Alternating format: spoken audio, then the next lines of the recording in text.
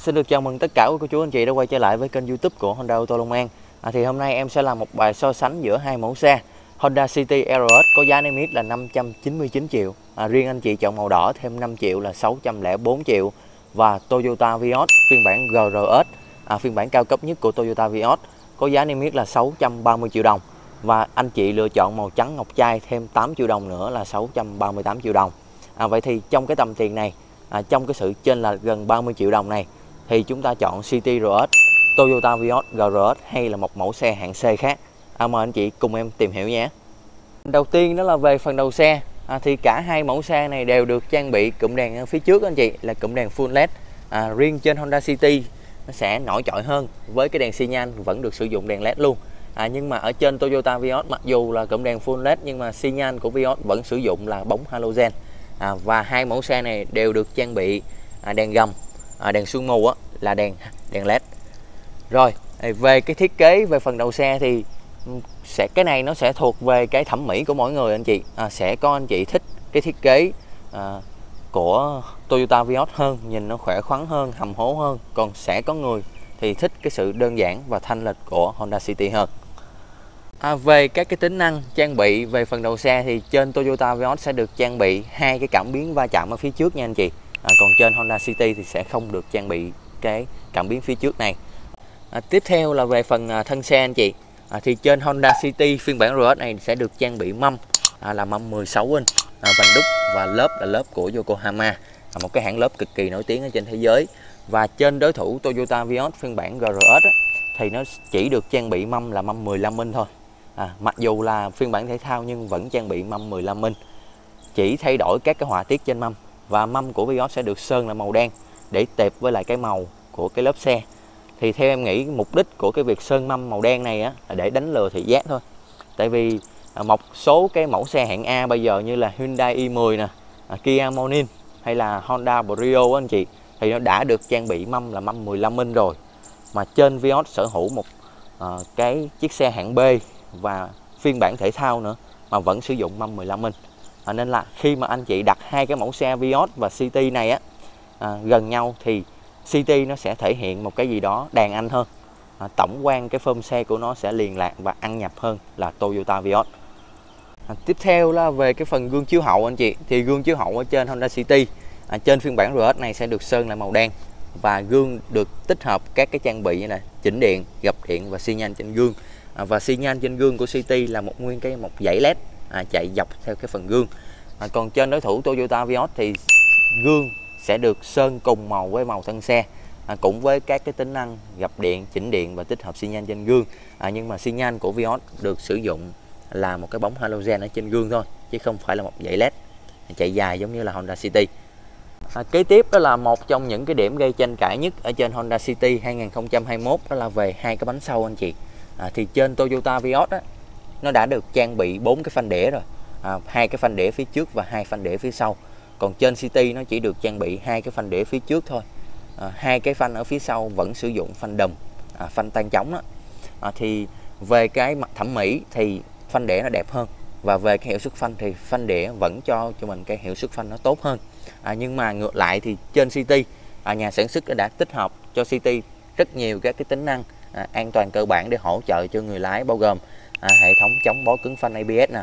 À, phân phối lực phanh điện tử ABD à, phân bố lực phanh khẩn cấp BA à, cân bằng điện tử khởi hành găng dốc và hệ thống kiểm soát chống trượt bánh xe. Thì với những cái tính năng an toàn cơ bản hỗ trợ cho người lái như em vừa nêu trên á, thì anh chị đừng có lăn tăng về cái à, việc vận hành giữa phanh tan trống và phanh đĩa à, dẫn chứng là các cái mẫu bán tải của Mỹ á, như là Ford Ranger nè à, Chevrolet Colorado. Mặc dù những cái chiếc xe đó họ sử dụng chạy cầu sau nhưng mà hai cái bánh sau họ vẫn sử dụng phanh tan trống. Đó. nên là anh chị đừng có quá lưu tâm về cái vấn đề này. Tiếp theo là về cái phần đuôi xe anh chị thì trên Honda City tất cả các phiên bản luôn đều được trang bị cái cụm đèn hậu full led. À, với cái thiết kế cụm đèn đuôi đến cái thời điểm hiện tại à, theo cái quan điểm cá nhân của em thì đẹp nhất cái phân khúc sedan hạng B. À, thì trên cái bản RS này thì à, City nó sẽ được gắn thêm một cái cánh nước gió liền thân à, cái đuôi dịch đó. Và à, dưới cái cản á, nó sẽ được ốp thêm một cái phần à, cái ốp cản sau à, tăng cái độ hầm hố và thể thao cho Honda City. Thì khi mà anh chị mua City về á mà mình đi uống cà phê hay là mình đậu xe ở trong bãi thì mình quay cái đuôi xe ra phía bên ngoài mà anh chị gỡ cái logo Honda ra à, mình gắn vào cái logo của BMW thì cực kỳ giống cái mẫu xe à, BMW 320i à, của Đức luôn. À, còn trên Toyota Vios GRS anh chị thì trên cái phiên bản này nó đã được gắn thêm cái cánh lướt gió ở phía sau rồi và nó sẽ được ốp thêm cái cản sau. À, nhưng mà khi mà mình nhìn tổng thể cái phần đuôi xe thì rõ ràng có cái sự khác biệt. À, không phải cái xe nào cứ gắn cái cánh lướt gió gắn cái ốp cản sau là xe đó thể thao. Dạ. thì rõ ràng trên City đang tạo có sự thắng thế cực kỳ lớn so với Toyota Vios về phần đuôi xe. À, nhưng mà ngược lại về các cái tính năng an toàn á, thì trên Toyota Vios sẽ được trang bị camera lùi và cảm biến lùi à, mắt ở phía sau và hai cái cảm biến va chạm ở phía trước còn trên Honda City à, một trong những giá trị cốt lõi của dòng xe Honda nói chung á, đó là cái camera lùi ba góc quay. À, góc thứ nhất là 180 độ góc thứ hai là 130 độ và góc thứ ba là 90 độ. Và vì trang bị camera tận ba góc quay nên là City à, sẽ không được trang bị cảm biến lùi nha anh chị. À, thì về cái trang bị cái option này thì khi mua xe em có thể tặng thêm cho mình hoặc là anh chị có thể mua thêm để ủng hộ cho em. Thì cái bộ cảm biến lùi 4 mắt này nó có giá là một triệu rưỡi và à, cảm biến lùi 6 mắt gồm bốn cái cảm biến ở phía sau và hai cái cảm biến va chạm phía trước à, có giá là 3 triệu rưỡi. À, giá trên đã bao gồm tất cả các cái công lắp luôn rồi nha anh chị. À, về phần cốp xe à, thì cốp xe của City và Vios thì có cái độ rộng là tương đương nhau. À, có cái độ rộng rãi là tương đương nhau nhưng mà trên lý thuyết á, thì cái con số uh, dung tích của cái cốp xe thì City nó sẽ nhỉnh hơn uh, Vios một tí. Về cái phần uh, bánh xe cua à, bánh xe cua trên City sử dụng cái mâm là mâm sắt và cái à, kích thước của cái bánh nó sẽ nhỏ hơn so với các cái bánh còn lại. Còn trên à, Toyota Vios tất cả các phiên bản luôn thì nó sẽ được trang bị cái lớp xe cua à, cùng kích thước và mâm vành đúc giống như các cái bánh xe còn lại. Về cái phần à, ghế ngồi của Vios và City thì đều được trang bị ghế là ghế chỉnh cơ. À, nhưng mà trên City thì ghế được kết hợp giữa da nè à, da lộn và nỉ à, trong khi đó đối thủ Toyota Vios vẫn là ghế kết hợp nhưng mà nó chỉ kết hợp giữa da lộn với da thôi chứ nó sẽ không kết hợp nỉ nha anh chị. Và trên cái tựa đầu của Vios GRS á, thì nó sẽ được theo thêm cái chữ GRS à, để nhấn mạnh thêm cái phiên bản à, đặc biệt của dòng xe huyền thoại này. Còn về cái trải nghiệm à, em ngồi và có dịp sờ chạm lên cái ghế của Vios á, thì không biết là cái chiếc xe mà em dùng để quay phim cho anh chị nó có chạy nhiều ngàn km quá hay không thì em không biết. Nhưng mà khi mà sờ chạm vào cái ghế của nó nó sẽ có cái độ cứng và cái độ chai nhất định chứ nó sẽ không được mềm mại à, và êm giống như là trên Honda City. À, thì một trong những cái đặc điểm dễ nhận biết nhất của các cái dòng xe Honda à, phiên bản RS đó là các cái đường khâu chỉ đỏ anh chị. À, nó sẽ được khâu chỉ đỏ ngay cái phần tắp bi cửa nè và ngay cái à, phần vô lăng. Đó, thì không ngoại lệ City RS được khâu chỉ đỏ ngay cái vô lăng này và vô lăng được sử dụng là vô lăng đa chấu à, với các cái nút nút bấm à, có cái chi tiết hoàn thiện cực kỳ cao. À, trong khi đó anh chị nhìn qua vô lăng của Toyota Vios á, thì đây là một cái vô lăng của dòng xe à, lăn bánh ngoài 700 triệu đồng mà vẫn sử dụng các cái nút bấm như là các cái nút bấm trên remote truyền hình. Và cả hai mẫu xe đều được trang bị cái chức năng là cruise control à, ga hành trình tự động đó thì cái chức năng này sẽ được sử dụng từ cái tốc độ 40 km/h trở lên. Thì anh chị mới set được cái chức năng này. Và trên Honda City thì nó sẽ được thiết kế ngay bên phải cái vô lăng để thân thiện và dễ dàng cho người sử dụng. Chức năng cruise control ở trên Toyota Vios phiên bản GRS anh chị thì nó sẽ được thiết kế ở phía dưới cái vô lăng này nè. À, nó giống như là cái cần gạt mưa vậy đó. Giống như cái cần gạt mưa của mình vậy đó. Thì khi mà anh chị vừa chạy 40 mà mình phải vừa thò tay xuống đây để mình set cái chức năng này nữa thì nó khá là khó khăn và coi như là nó rất rất là khó sử dụng. Tiếp theo là trên à, vô lăng của Vios anh chị. Bản GRS này thì nó đã được trang bị hai cái lẫy số vô lăng rồi. À, tích hợp với cái hộp số CVT giả lập cho anh chị là 10 cấp số. À, còn với CT thì chỉ giả lập cho mình là 7 cấp số thôi. À, chỉ giả lập 7 cấp số thôi. À, về cái phần màn hình à, màn hình à, cái đồng hồ tắp lô của CT và Vios đều là cái đồng hồ à, analog cái đồng hồ cơ đó anh chị. Nhưng mà trên ờ, Vios thì nó sẽ có một cái màn hình LCD nhỏ hiển thị các cái thông số điện tử ở dưới góc phải màn hình. Thì khi mà anh chị nổ máy lên thì sẽ có một cái logo GRS hiện lên ngay khu ngay chỗ đó nhìn rất là đẹp mắt. Tính là về cái màn hình giải trí, à, màn hình giải trí trên Honda City được trang bị là màn hình 8 inch, à, kết nối đầy đủ Apple CarPlay, Android Auto và hệ thống âm thanh là 8 loa giúp cho anh chị có những cái trải nghiệm cực kỳ à, thú vị trên mẫu xe Honda City này. À, trong khi đó đối thủ à, Toyota Vios sử dụng cái màn hình là màn hình 7 inch, à, vẫn kết nối đầy đủ Apple CarPlay, Android Auto.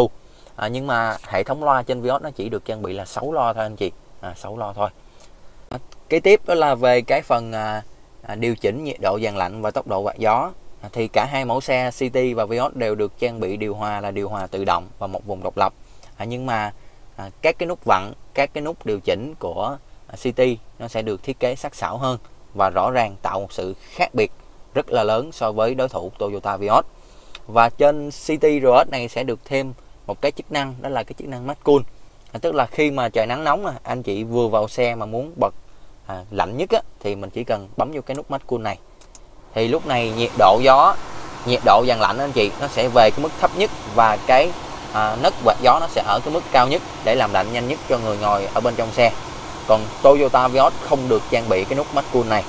Và khi mà em muốn trở lại nhiệt độ bình thường trên City á, thì em chỉ cần bấm vào một nút này một lần nữa. Đó, thì nó sẽ tự động quay lại nhiệt độ ban đầu. Tiếp theo là về cái không gian nội thất của cái hàng ghế thứ hai. À, thì như mà anh chị có thể quan sát là à, độ rộng rãi của Vios và City đó là là tương đương nhau và ngang ngửa nhau.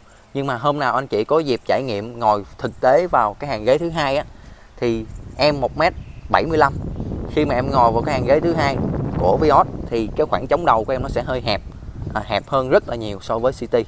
Và nó sẽ cho anh chị cái cảm giác là ngồi hơi co ro một tí chứ không có ngồi thoải mái giống như là trên Honda City. Tiếp đến đó là cái cửa gió điều hòa của cái hàng ghế thứ hai. À, thì trang bị này được trang bị ở trên Honda City anh chị. Còn Toyota Vios tất cả các phiên bản kể cả Toyota Altis lăn bánh gần 900 triệu đồng luôn vẫn chưa có được cái trang bị này. À, khi mà Ờ, anh chị nổ máy lên bật điều hòa thì có cái cửa gió này thì người phía sau sẽ được làm lạnh nhanh hơn.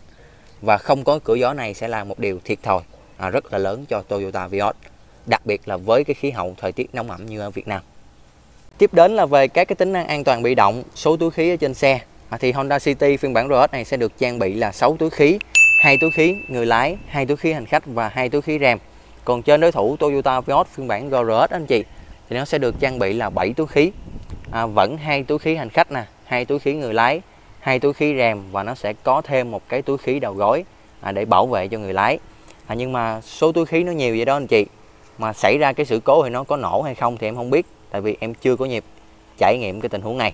Và một trong những cái điểm lưu ý nữa đó là về cái chìa khóa anh chị. Thì chìa khóa trên à, Honda City được trang bị cái chức năng là đề nổ từ xa rồi. Còn trên Toyota Vios vẫn chưa có cái chức năng này.